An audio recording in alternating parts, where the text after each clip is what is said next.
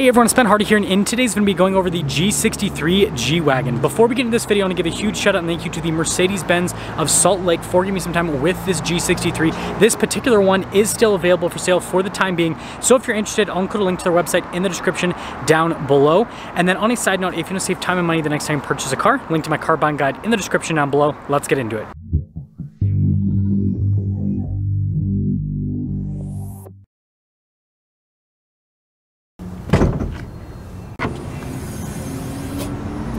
Powering this is a twin turbo 4 liter V8 that goes through a 9 speed automatic transmission. Fuel economy is 13 around town and then 16 on the highway with power outputs being a whopping 577 horsepower and then 627 pound feet of torque. Now before we go over the front end, I do want to mention if you want to see more videos just like this, then I recommend you subscribe because I post content every single day. So starting with the hood, you guys can see the Mercedes logo front and center, and then I love how the turn signal indicators have been blacked out on this particular one. Coming down below, the headlights have also been blacked out. You got the cool daytime running lights with the subtle AMG badge just right next to that. And then we got the Mercedes logo front and center. And then we've got the brush guard here at the bottom in normal G63 fashion. And notice how that's also blacked out. And putting it all together, this just looks like an absolute tank. And it actually kind of is. Coming around the side here, tire wheel setup is 295 40 22 in the front and over in the rear. And obviously being an AMG means we've got massive brake rotors and a massive caliper. The smallest wheel that you can actually fit on a G63 with this setup is 20 inch wheel. And then look at the fender flares, those are really cool looking. We have our AMG badge, we also have our V8 bi-turbo badge. And then notice how we've got the side steps that are kind of like connected to the fender flares. And then we've got the exhaust tips coming out the side with the AMG logos on them. And then here's your full side view for the G63. This thing just looks like an absolute tank. So here is the key fob for the G63. You've got your lock and unlock function. You got the AMG logo here and then also on the back as well. Now in normal G-Wagon fashion, Makes a really cool sound when you open up the hatch. And here's the cargo area. We've got a cargo cover built in from the factory. We actually have a full outlet here in the back as well. And plenty of storage space, especially vertical space, because this is literally a box. Almost try to mention, look at this, quilted leather on the back, and we got this sturdy grab handle. But the coolest thing is when you close it, it makes such a satisfying sound. Got our G63 badge here. You guys can see parking sensors. And every single time I see the license plate holder on a G-Wagon, I think that it's like the Batman logo. It Doesn't it kind of look like that? Is it just me? Anyways, got a recovery hook here in the back.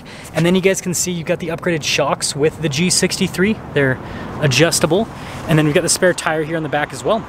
Wrapping it up, let me know what you guys think about the aesthetic, but I think this is one of the coolest looking modern vehicles out there. Now taking a look at the door panel here in the rear, you can see beautiful leather and then look how it's quilted in the center portion. We got carbon fiber down below that. Speaker for the Burmester sound system. We have heated seats as well and look how nice the window control is. And there's the door panel. Look how the stitching and everything continues all the way to the bottom. Now I've got really nice stitching here. You guys can see the design in the center of these seats in the back as well. Now my feet are like this just so I don't track any dirt under the carpets. But anyways, you guys can see legroom back here is actually pretty good. It's a lot better than the previous generation G-Wagon. Got a little storage pocket here, vents here in the back, and then we've got our own climate zone for the back as well. And then of course, headroom is really good because again, it's a box. Now taking a look at the front door panel, you guys can see same beautiful leather trim with the quilted design, carbon fiber down below, got some storage right here. Memory seat function here on the door panel with the seat adjustment, speaker for the Burmester sound system, heated and ventilated seats. You've got your door lock and unlock controls also on the door. And then you guys can see with all of our window controls. The mirrors, by the way, they do power fold in and they have blind spot monitoring. And then look at the leather trim here, AMG logo, and then perforated all down the center portion. And then we've got really nice looking pedals. We've got our parking brake here with our light control, lane keep assist. We've got our parking sensors on top of that. And then the steering wheel is power adjustable.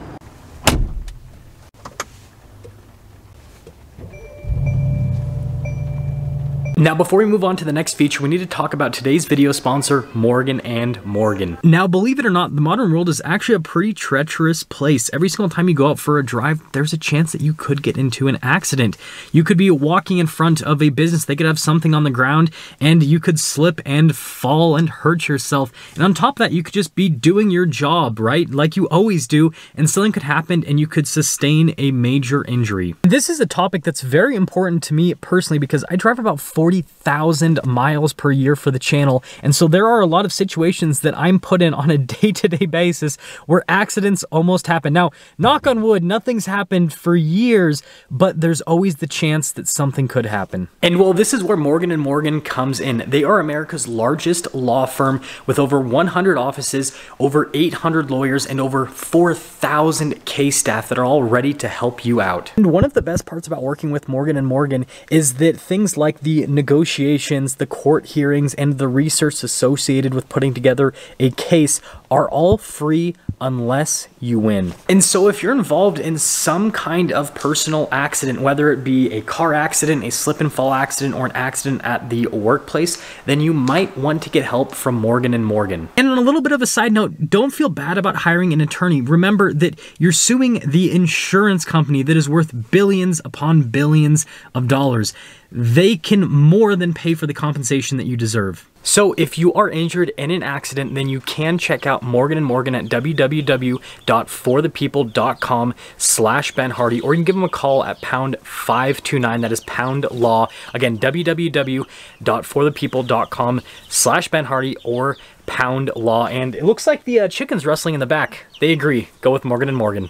Now taking a look at the steering wheel, it looks so cool. You've got the golf ball texture here on either side, and then look at the leather trim there at the bottom, and then also at the top as well. AMG logo, got the drive mode select here, and then you can adjust different items depending on what you have selected on the other screen. Controls here for the center stack, controls there for the infotainment system, and then also your volume controls and then cruise control integrated there. And look at the paddle shifters here. Just such a cool looking steering wheel overall. And then you got your turn signal stock and then our column shifter as well.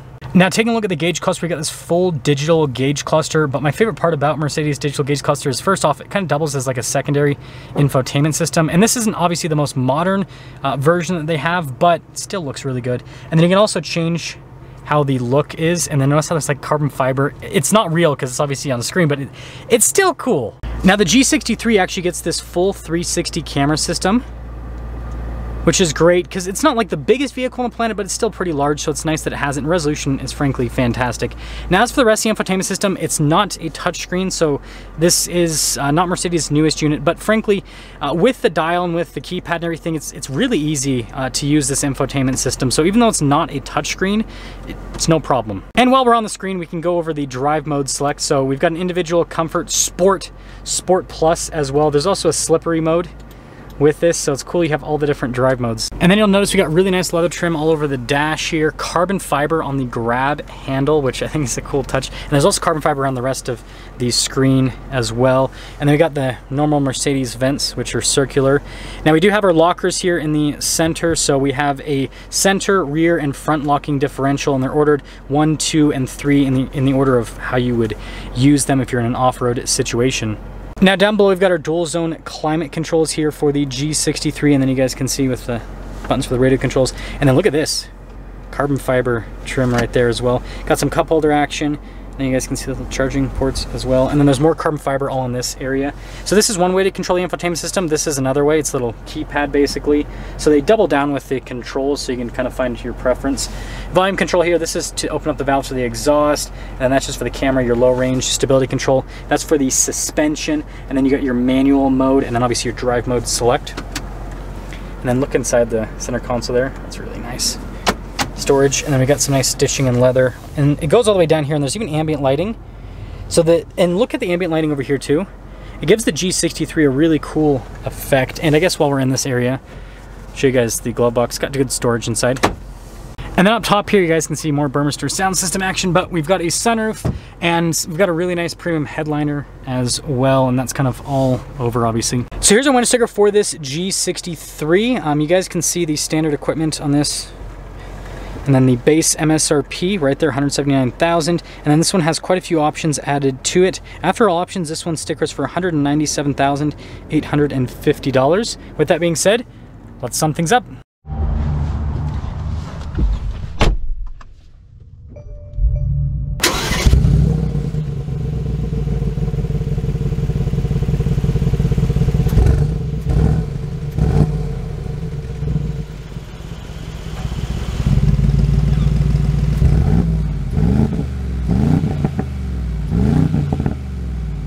let's talk about visibility before we set off. Here's visibility of the hood, both of the mirrors, which do have blind spot monitoring, and throughout the rest of the rear. And, well, with that being said, I suppose that it is G63 away. This is gonna be a little bit of a shorter drive compared to normal. Um, there's quite a few time constraints today. And so it just, uh, it's gonna be best this way. And if you guys are wondering why I'm going through this way instead of the normal test drive route, it's because service with the uh, with all the dealerships, not with the Mercedes dealership, uh, is closed because it's a holiday today. And so for me to get around the lot because the gates are closed, I have to I have to go through this way. Which I guess this is good to test the suspension of the G63. See the damping and everything through this lot because there's quite a few bumps and everything. Um, but anyways, you know, if you guys follow the channel, you know that I'm a huge just G-Wagon fan uh, in general. And it's not for the normal reasons that people are G-Wagon fans. Most people like these because it's, it's a status symbol, right? And that is definitely true. But the reason why I personally like this vehicle is the build quality. The fin finish on this is just absolutely fantastic. And then on top of amazing build quality, it drives so, like the, the driving experience is so unique. It's not for everyone, that's for sure, but I love it. The reason why I love the driving experience with this is it literally feels like you're driving a tank. The only other vehicle that you can buy that feels somewhat like this is a V8 Wrangler, but the Wrangler doesn't have the luxury experience that the G-Wagon gives you because this also has really good ride quality. It's, I mean, it is, a, you know, a box, so there is a bit more wind noise compared to other vehicles, but ultimately it's, you know, is it's pretty well insulated. Like it, it it's not like as insulated as like a Mercedes S-Class, for example, but it's, it's pretty good. And on top of that, it just, it feels so cool driving this. Like this is one of those vehicles where you get in and you just feel like, you just feel like a boss driving it basically. Now I'll pop it into the Sport Plus mode here. Everything will get a little bit more aggressive in this mode. And I do want to mention, uh, visibility is actually really good in the G-Wagon. Obviously, I, I kind of, you know, showed that a little bit earlier, but like seriously, having, you know, a big boxy SUV with a lot of square windows, it really helps out when it comes to overall visibility. Man, the throttle is so sensitive in the Sport Plus mode. I'm just getting on it a little bit. Um, if you guys want to see like uh, more like full-on acceleration. I've done uh, those with other G63s. I don't feel comfortable going like all the way into the throttle with this, uh, being a new vehicle. And that's also why I'm just taking around the block for a much shorter drive than normal. Um, but anyways, summing things up, I've driven quite a few G-Wagons now. I think I've driven almost, let's see, over the, because I started filming these for the 20, either the 21 or the 22 model year, I can't remember. And I've done 550, 63, so I'm at like, plus the G-Wagon squared. I think I've, I think I've reviewed a total of I think eight to nine uh, G-Wagons. And, you know, this is going to be probably somewhat controversial compared to some other things I've said on YouTube. I think this is, in terms of SUVs, I think this is the pinnacle of the automobile. And just hear me out. Um, aside from like, I, obviously looks are subjective. Like some of you will like the looks of this, some of you won't. Outside of that, the build quality that this has, the tank-like driving experience, plus the luxury driving experience, plus the off-road capability, there is nothing else that you can buy on the market that is quite like a G-Wagon. Again, this is coming from someone who owns a Rubicon 392. I love my Jeep to death. It's such a cool vehicle. It's not a G-Wagon. Uh, and so, you know, as ridiculous as it may sound, I understand obviously the whole status symbol thing um, with this, I understand uh, the price premiums from that perspective. I can't remember where this thing was parked, so I'm gonna have to figure this out. Um, I think I'm, I think it was by the, okay, now I remember. Anyways, I, I think I kind of understand. Again, it's a status symbol, but it's just like, if you have, if you have a chance, just go and open the door and sit in a new body style G-Wagon. And I think that you'll, you know, at least somewhat understand. You might not be able to understand the, you know, $200,000 plus price tags on the 63s and all that. But I, I think it'll still give you an idea of why people love this vehicle Okay, we're good there. Love this vehicle so much. It's just, it's so well built. And again, the driving experience you get, you just feel like you're driving this tank-like thing and it's so cool. And, you know, hopefully if I work hard enough, I'll be able to own one, not a 63, but a 550. 63 is a little bit too much. Anyways, let me know what you guys think about the G63. Let me know what you think about the G-Wagon. That's all.